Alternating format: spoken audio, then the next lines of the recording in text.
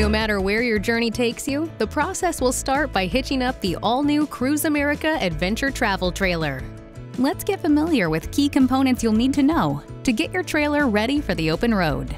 The trailer tongue, trailer ball, trailer latch, trailer crank, safety chains, brake line, wiring harness, tire chocks, and levelers.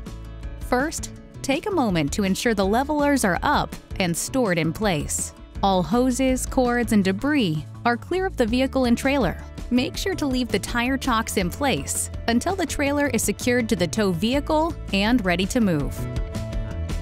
Use a guide to direct you back within a foot of the trailer's hitch. Raise the trailer with the crank until there is enough room for the ball hitch to fit under the trailer hitch. Remember to keep proper clearance.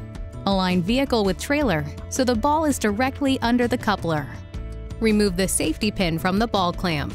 Lower trailer tongue by using the trailer crank mechanism. Be sure the coupler is sitting nice and tight on the ball.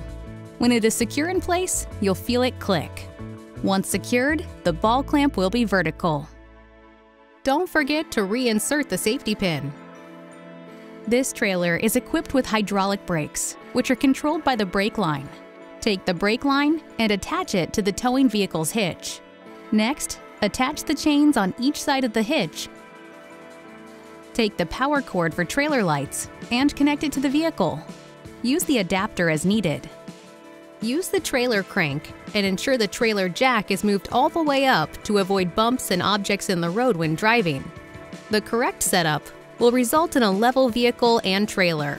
Pro tip, the ideal height of the trailer should be 18 to 21 inches from the ground. Remove the tire chocks.